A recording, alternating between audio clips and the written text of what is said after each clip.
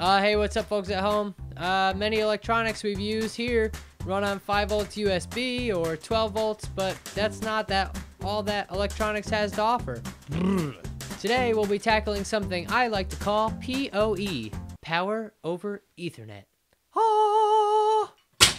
What? So what we're gonna need is a microchip PIC PoE development kit, a PoE Ethernet switch, and of course some Ethernet cables, like all these little doodads down here.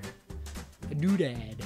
By now, we've all probably heard of Ethernet. It's one of the many ways that you're able to watch me from your computer screen in Thailand or wherever you are. I, I hope I have viewers in Thailand.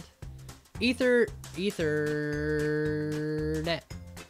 Ethernet is used for local networks of computers, providing internet and data connections within homes and offices. Power over, over Ethernet. Power over Ethernet does just what you'd think, providing power down the same cables that provide data, typically Cat5 or Cat6. Because of this, one cable can provide power and data to wireless access points, intercom systems, IP cameras, and a lot of other things, like the board we're using today. You'll see I have this microchip PIC development board and this funny looking box. I get, can I call it, can I call it a box?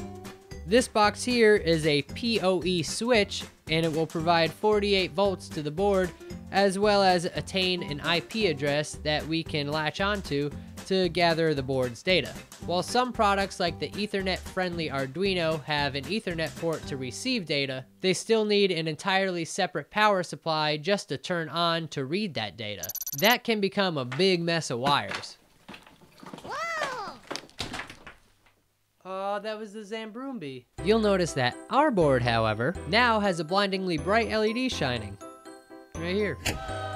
Meaning that this thing has a mean 48 volts running down its data cable.